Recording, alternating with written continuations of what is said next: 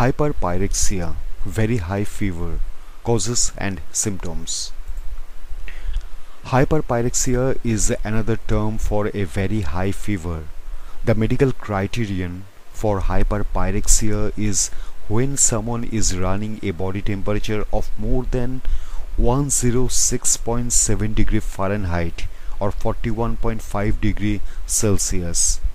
Some doctors lower the measure for hyperpyrexia to include anyone with a body temperature of 106.1 degree Fahrenheit or 41.1 degree Celsius and above.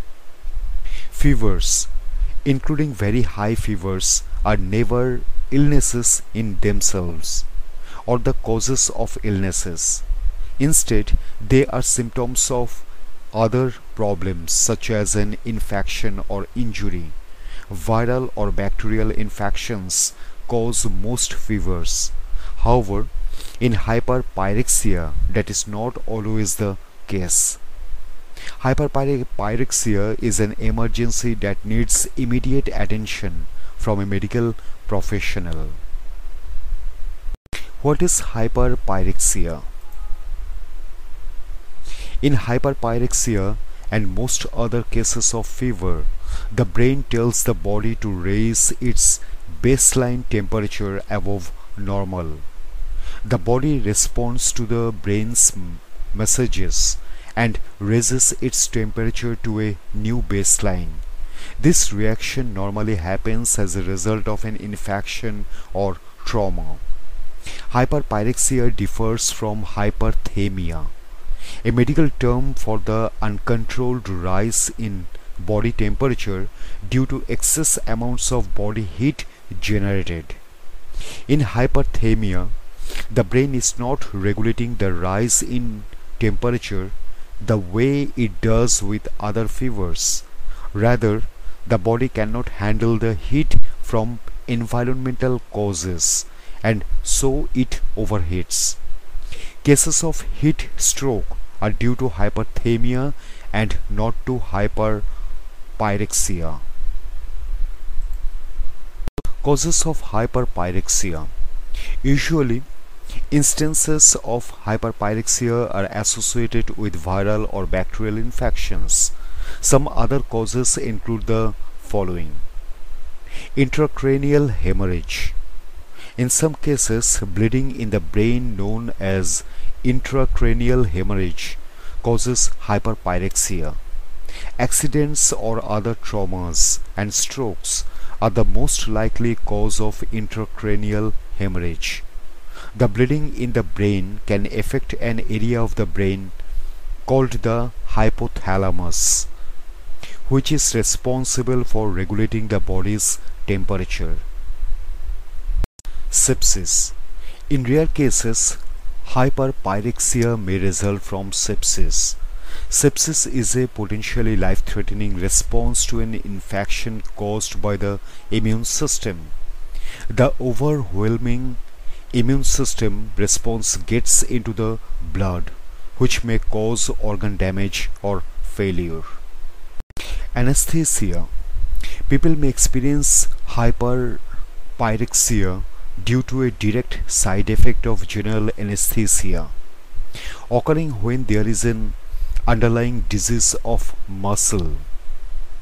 In these cases, a person's temperature rises rapidly while under anesthesia, requiring doctors to make adjustments to lower the body's temperature again. Hyperpyrexia in children Kawasaki syndrome or disease is a potential cause of hyperpyrexia, especially in children. Kawasaki syndrome causes inflammation to the medium-sized arteries throughout the body. One sign of Kawasaki disease is high fever, which can result in hyperpyrexia if left untreated. What are the symptoms? Symptoms of hyperpyrexia vary from person to person depending on how long the condition lasts and if it is if it worsens. Early symptoms may include increased thirst, extreme sweating, dizziness, muscle cramps, fatigue and weakness, nausea, lightheadedness.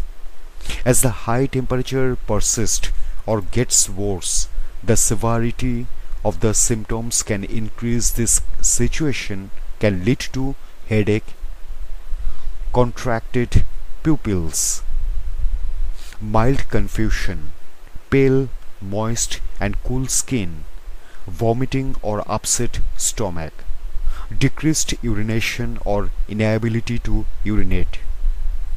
In prolonged periods of a temperature of more than 106.1 degree Fahrenheit, the following symptoms may occur extreme confusion, loss of consciousness, rapid, shallow breathing, dry, hot, and red skin, weak first pulse, widened pupils, seizures. It is essential to seek treatment for fevers over 106.1 degree Fahrenheit to help prevent serious long-term complications or death. How is hyperpyrexia diagnosed? Diagnosing hyperpyrexia is done using a thermometer. If the reading is over 106.1 degree Fahrenheit, then the person has the symptoms of hyperpyrexia. Since hyperpyrexia itself is not a diagnosis and only a symptom of a larger problem, finding the underlying cause of the high fever is more important and often more challenging. A doctor will assess the person's physical state and run tests to rule out the more common causes of high fever. This test may include the following blood blood work to check for signs of infection, image studies of the brain to check for intracranial hemorrhage.